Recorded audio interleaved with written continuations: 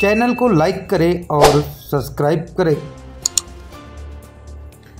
भादुकोटा में वनवासी रामकथा की तैयारियाँ पूर्ण। स्थल का जायजा लेने पहुँचे मंत्री रामकिशोर कावरे। 22 मई को निकलेगी कलश यात्रा। परसवाड़ा के ग्राम भादुकोटा में कथावाचक पंडित धीरेन्द्र शास्त्री का आगमन 23 मई को होने जा रहा है, जहाँ वे 23 मई और 24 मई को वनवासी रामकथा का वाचन करेंगे। शाम को दिव्य दरबार भी लगाएँगे। जिसके भव्य आयोजन की तैयारियाँ वनवासी सेवा समिति परसवाड़ा द्वारा लगभग पूरी कर ली गई है। दो दिवसीय कथावाचन के लिए तकरीबन पाँच लाख लोगों के बैठने की व्यवस्था की गई है। समूचे कथावाचन कार्यक्रम का आयोजन वनवासी सेवा समिति परसवाड़ा के तत्वाधान में आयोजित होगा। स्थल पहुँचे मंत्री रामकिशोर कावरे ने तैयारियों का जायजा लिया। आयोजक समिति ने बताया कि कथावाचक पंडित धीरेन्द्र कृष्ण शास्त्री के आगमन पर 22 मई दोपहर दो बजे से परसवाड़ा के हृदय स्थल श्री राम मंदिर प्रांगण से 1100 कलश के साथ ही कलश यात्रा निकाली जाएँगी। जो नगर के मुख्य मार्ग से बीजाटोला होकर भादुकोटा पंडाल पहुँचेंगे। साथ ही आदिवासी भाइयों द्वारा दो दिवस के लिए 24 घंटे रामधनु का कार्यक्रम आयोजित किया गया है। साथ ही केवल 24 मई को कथावाचन से पूर्व शाम चार बजे से पंडित धीरेन्द्र कृष्ण शास्त्री के द्वारा दिव्य दरबार का आयोजन किया गया है। मंत्री रामकिशोर कावरे ने कहा कि श्रद्धालुओं के लिए समूची व्यवस्था की गई है। जैसे पार्किंग, भोजन, पानी, बैठक की व्यवस्था के साथ मेडिकल मेडिकल की भी व्यवस्था की गई है। नक्सल प्रभावित क्षेत्र में आयोजन हो रहा है। इस हेतु सुरक्षा के लिहाजे से बड़ी संख्या में पुलिस के जवानों की तैनाती भी आयोजन स्थल के चारों ओर किया जाएगा। तेईस मई, चौबीस मई, जैसे कि आप सबको पता है कि बागेश्वर धाम के पिताधीश पंडित धीरेन्द्र शास्त्री जी का रामकथा का कार्यक्रम यहाँ आयोजित है। वनवासी सेवा समिति के सहयोग से आयोजन में ये कार्यक्रम आयोजित है।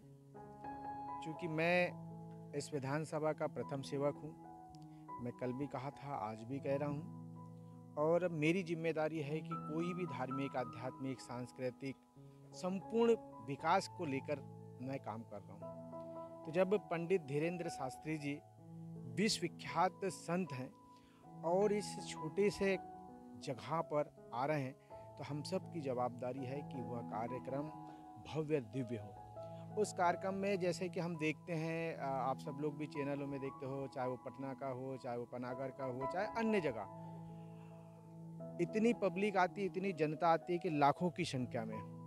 उनके लिए बैठने की व्यवस्था, उनके लिए पानी की व्यवस्था, उनके लिए भोजन की व्यवस्था।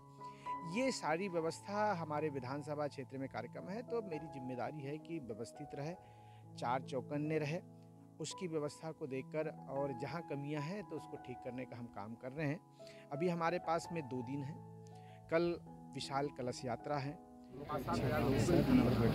शाम के समय जो कलश वाले आप इसको इस बनाना चालू कर देना क्या? बनाना चालू कर मतलब पीछे लग जाओ ना इसलिए तो आप काम आपके पास काम नहीं है करके मैं बोला कि अब लो बात करके होगी कथा आप बोले को शाम को छः बजे कथा प्रारंभ होगी और करीब दो तीन घंटे कथा रहेगी और उसके बाद में फिर दिव्य दर्शन हमारा दिव्य प्रोग्राम होगा। दिव्य दरबार हमारा वहाँ कार्यक्रम प्रारंभ होगा। और वो कितने बजे रात तक के चलेगी ये नहीं पता लेकिन इतना है कि जब तक हनुमान जी चाहेंगे तब तक के वो दरबार चलना है। तो ये सारी जानकारी हम सब लोग लेते जा रहे हैं और सारी व्यवस्थाएँ होगी। किसी प्रकार से कोई दिक्कत ना हो। सभी धर्म के लोग, सभी सामाजिक बंधु, सबसे बातचीत करके इस आयोजन में, चूँकि हमारे सनातन धर्म के, हमारे सनातन धर्म के लोग हैं जो हिंदुत्व को मानते हैं, प्रभु राम को मानते हैं, ऐसे सभी लोग यहाँ पर शामिल हो रहे हैं। और चूँकि हम सब लोग ये, इस बात को जानते हैं कि वनवासी कथा जो है, वो प्रभु राम जी के जीवन पर, प्रभु राम जी के चरित्र पर यहाँ पर वर्णन होगा। ऐसे वर्णन को सुनने के लिए, समझने के लिए और प्रभु राम जी मर्यादा पुरुषोत्तम राम कैसे कहलाएँ, इन सभा, सभी विषय को लेकर महाराज जी का यहाँ पर कथा वाचन होगा।